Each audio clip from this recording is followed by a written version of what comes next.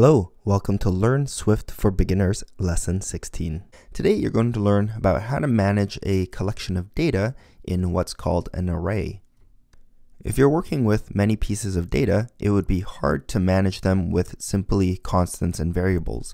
So let's take a look at how arrays can make our life easier. Alright, let's get started.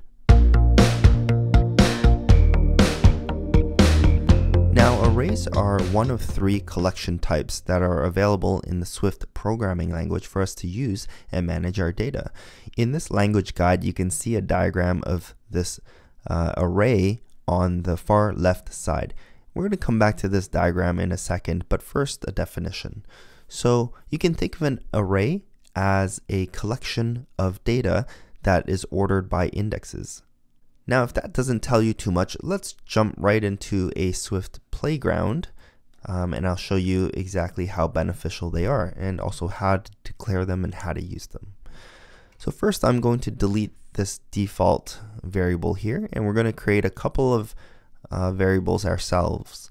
So let's say var a equals dog, var b equals cat, var c equals bird. And now let's say I wanted to concatenate or add the word my in front of each of those uh, values there so that I would have my dog, my cat, and my bird. So I would have to do something like this. I would have to go a equals my space plus a. And this would result in a being my dog because uh, we're adding the word my with a space to a and a is dog. And then we're reassigning that result into a again, thereby overwriting what was there before. So now a is actually my dog. Now I would have to repeat this for cat and I'd have to repeat this with bird. I can't even use what we learned in the previous lessons in regards to loops to make my life easier. I'd have to write this out three times for each of the variables.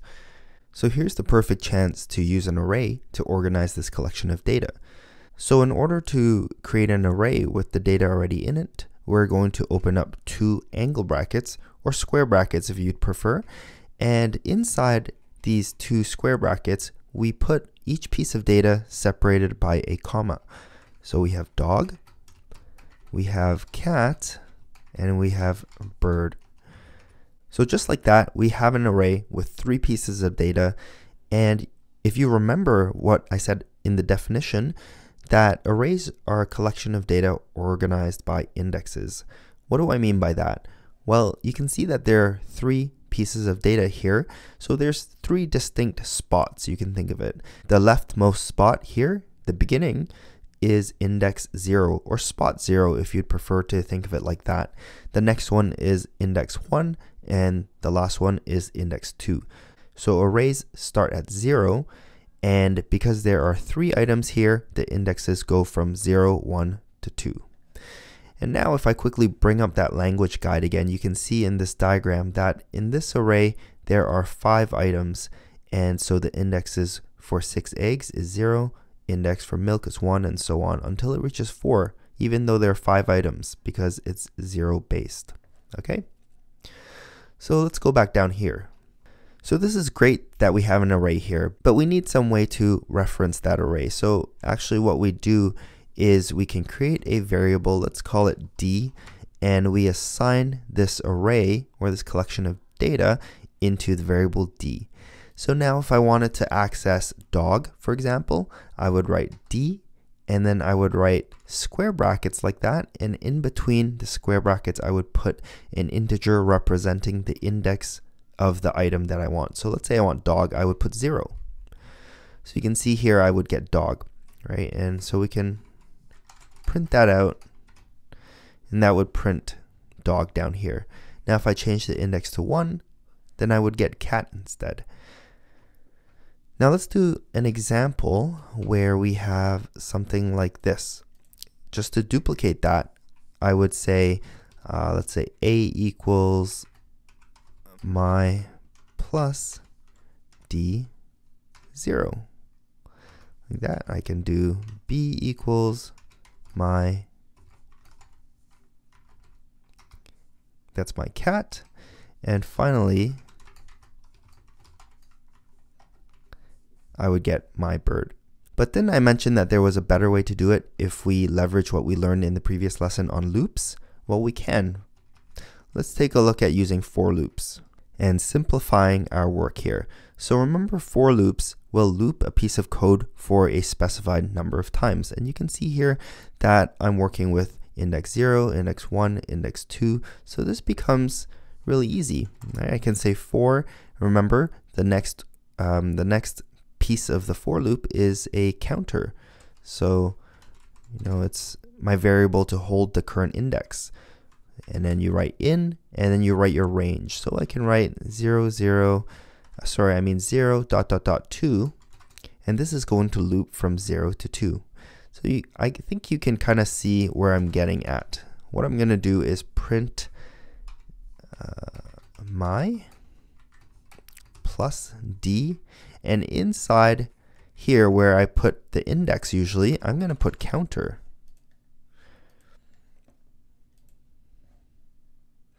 And you can see here, it took the playground a little second, but that's exactly what I expected to do here. So in the first iteration of this for loop, counter is zero, right? That's the starting range. So zero gets passed into here, and I would get this printed out this is dog. D at index 0, right, is dog. In the next iteration of the loop, counter is 1, and so I'm actually accessing index 1 of my array D. So that's why I get cat. And then finally it loops again and counter is 2, and I would access this bird index here. I want to show you another way um, to use your for loop with an array, and that's simply to say for item in D. So what this is going to do is it's going to loop through all of the items in the array D and in each iteration of the loop it's going to take that item or that piece of data and it's going to assign it to item. So I can simply go like this. So you can see that it gets printed out again. Right, in the first iteration, item is dog. In the second iteration, it's cat. In the third, it's bird. So this is pretty simple way to write it, and you can see that it saves a lot of work from doing it kind of one by one like this, and one by one like this. Arrays in conjunction with loops, really powerful stuff. Now with arrays, there's other cool things you can do. Let me just um, make some space here. Maybe I should delete this stuff. You can actually declare an empty array. So it's an array that would contain no data at first. And the way you do that is just like storing things into a variable or a constant, arrays can only store data of a certain data type that you specify. So since it's an empty array, how you would do it is you open up two square brackets, you put the data type inside the two square brackets, and that data type represents the type of the data that the array is going to store. So I'm just going to put string here, and then you end off with two round brackets like that. And just like that, now E refers to an array that is empty right now, doesn't contain any data, with the intention of storing string type data in this array.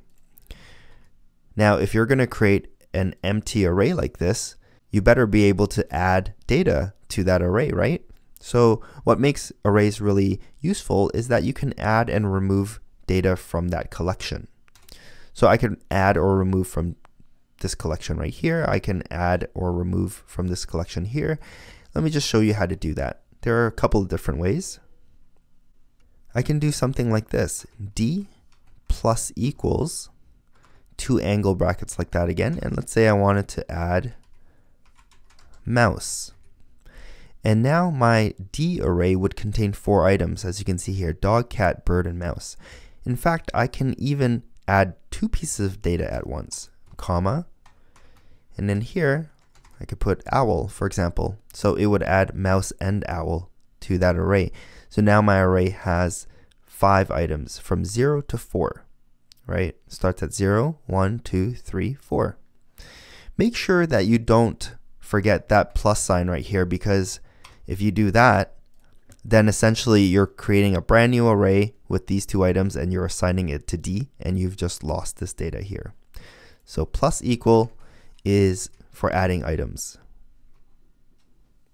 Now seeing this plus equals, you might be tempted to use minus equals to remove items like this, but that actually doesn't work unfortunately. You can't remove items from the array like that. What you have to do is the array actually has functions that you can call on it to remove items. So you would say D and then you would press dot on your keyboard or the period key and out pops a list of functions that you can call on this array. And using the append function is going to do exactly like this plus equal is. It's going to add items into that array. But let's look at the remove functions. So you have remove all, which is going to remove all the items in an array but you can uh, use this one here, remove at, and you can specify the index of the item you want to remove. So if I put zero like that, that's going to remove dog from my array. So now it's only going to contain cat, bird, mouse, and owl. Now what if I don't want to completely remove dog, but I just wanted to change that element right there at index zero. So let me get rid of this remove line you saw that you can access items in the array by doing that, right? Putting in the index there. Well, you can actually change the item. You can change what is assigned at that index by typing D, square brackets, put in the index you want to change, and using the equal sign to assign something new into that spot. So here, let's say turtle. And that is going to now change your array if I print d, oops, 0, I'm going to get turtle instead of dog because I just changed it up here. The last thing I want to point out is that arrays also, you can check how many items are in there if you look at the count. And that's going to return the number of items in your array. That is sometimes useful when you want to use a for loop with a range and you don't know how many items are in the array. You can use this array.count and get this number here. But just keep in mind that uh, although D has five items right here, the index of the last item is actually only four because the first item is zero. It goes from zero, one, two, three, four, right? Even though there are five items. So just keep that in mind if you're going to use this uh, array.count in conjunction with a for loop or something like that. Okay, so that's where we're going to end with arrays. As you can see, when you type array dot, there are a lot of different functions with arrays that you can do. Um, what I've covered here in this lesson is enough for you to use arrays and leverage some of the main benefits of arrays. As we go on and we're building apps together, you're going to be learning new ways to use arrays. But for now, these are the main things you need to know about arrays in order to start using them. If you like this video, please give this video a thumbs up. Please subscribe for more, and I'll see you in the next lesson. Bye for now.